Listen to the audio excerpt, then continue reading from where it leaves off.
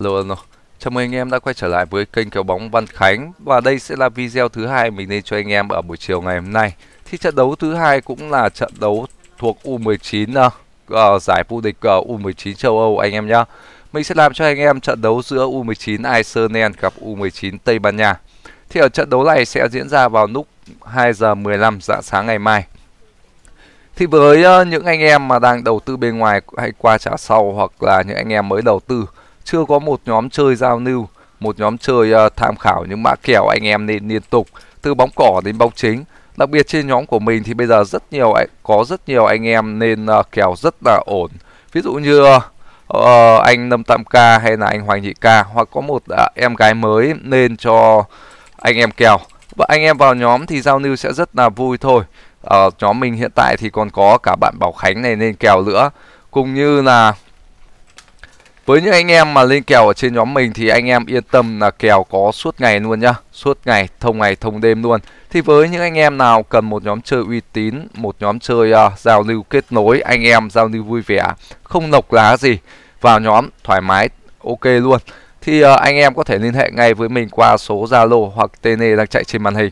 Thì uh, mình sẽ đưa anh em vào nhóm. Còn với những anh em nào mới học đầu tư Mà chưa hiểu hết về các mã kèo ở trên ờ, bộ môn banh bóng này cũng như là những cách vào kèo, cách vào tiền làm sao cho nó hợp lý thì anh em cũng liên hệ ngay với mình. Mình sẽ giải thích cho anh em từng chút một để anh em hiểu.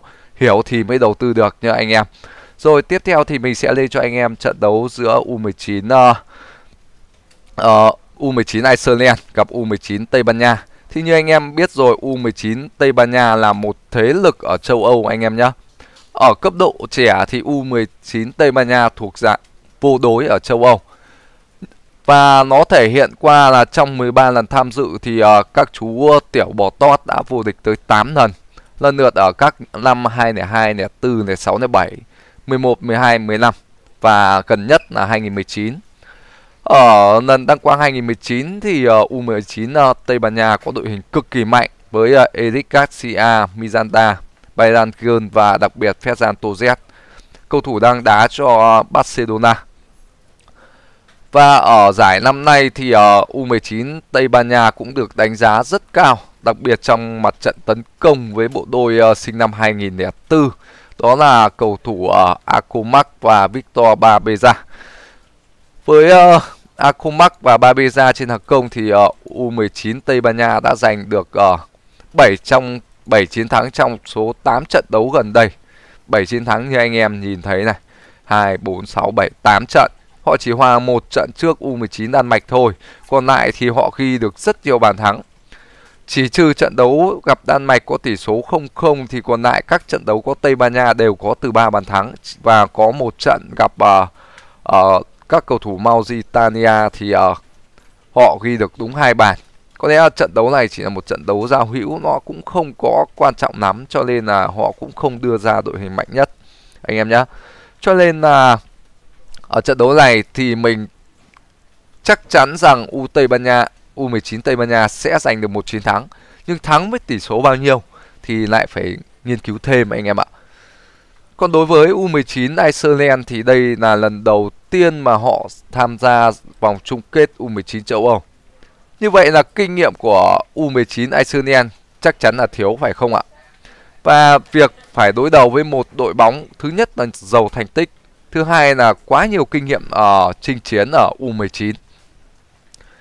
Và rất nhiều cầu thủ ở các lò đào tạo nổi tiếng như mà uh, lò của Barca, lò của Real hay lò của Atletico thì uh, các cầu thủ U19 Iceland có lẽ rằng mình nghĩ là sẽ bị vỡ trận sớm thôi vỡ trận rất sớm và cơ hội để U19 uh, ờ, Iceland thì có lẽ chỉ là gặp uh, Hy Lạp hoặc là La Uy thì may ra họ còn có cửa. Nhưng mà ai nói là đó là dựa trên những con số thống kê. Nhưng mà anh em nên biết rằng U19 Iceland khi vào đến trận cái vòng chung kết này thì họ đã phải trải qua rất nhiều thử thách rồi. Rất nhiều thử thách anh em nhé. Cho nên là mình cũng đánh giá cao rất rất cao uh, U19 Iceland. Còn U19 Tây Ban Nha ở trận đấu này họ giành được chiến thắng với tỷ số bao nhiêu? Đó lại là một vấn đề. Một vấn đề nha anh em. Thì ở các con số thống kê thì anh như anh em thấy là 5 trên 7 trận đấu gần nhất của U19 Tây Ban Nha có nhiều hơn 2,5 bàn thắng. Và 5 trên 7 trận đấu gần nhất U19 Iceland có dưới 2,5 bàn thắng. Cho nên là trận đấu này khả năng Iceland ghi được bàn thắng mình nghĩ là cực kỳ khó anh em ạ. Cực kỳ khó nhá. Phần 10 trận đấu gần nhất thì U19 Tây Ban Nha giành được cái 8 chiến thắng và họ chỉ thua đúng duy nhất một trận trước U19 Nhật Bản với tỷ số 0-1 ở một trận giao hữu và hòa U19 Đan Mạch. Còn với Iceland thì uh, họ cũng đá khá tốt nhá. 3 6 10 trận đấu họ giành được tới 6 chiến thắng, 2 hòa và 2 thua. Họ thua trước ờ, uh, Iceland. Iceland. Họ thua trước uh, Pháp. Còn lại họ hòa trước Georgia và hòa trước uh, Thổ Nhĩ Kỳ.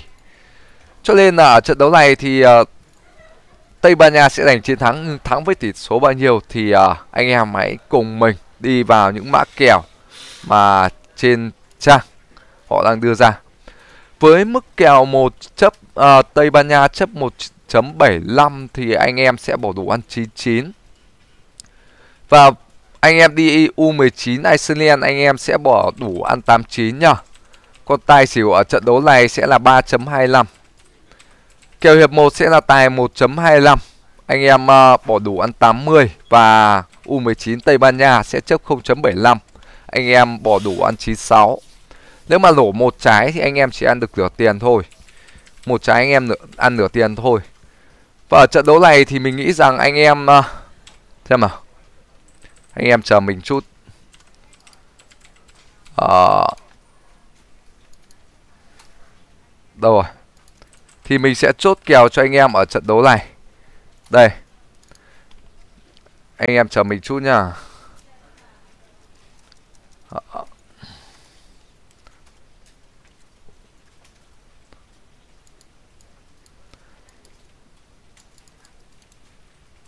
Em chờ mình chút.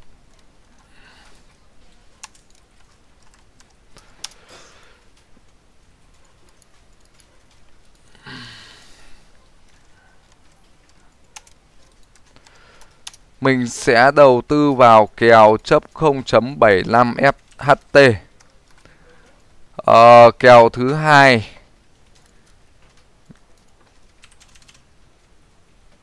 Xem nào.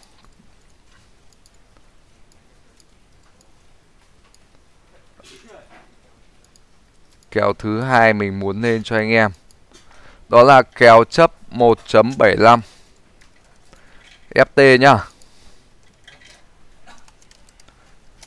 Có kèo hiệp 1 thì ờ, uh, kèo tài mình nghĩ rằng uh, anh em hãy đợi cho mình là ăn đủ hãy vào nhá.